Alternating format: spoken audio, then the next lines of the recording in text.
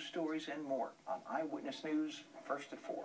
And your holiday photos continue to pour into the Eyewitness newsroom. Princess doesn't look too happy, but if you look closely, her Santa hat explains it all. It says Grinch.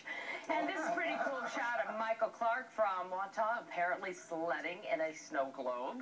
And here's Joel and Bruno. Their mother snapped the shot right after they strung the lights on the tree for her. Mm. And if you'd like to share your photos, email them at us at eyewitness and ABC. What was that? Com or go to 7 Online. No, they she's- may end up on the air like Bruno. She's still wondering how they got the baby in the snow globe. Oh, Yeah, wow. that's, that's what she was wondering. yeah, exactly what she was wondering. Uh, keep Bruno. those photos coming in. Yeah, let us send in another holiday card to Lori. And that's it. Have a good day. I'm gonna throw my t-shirt and decorate the tree.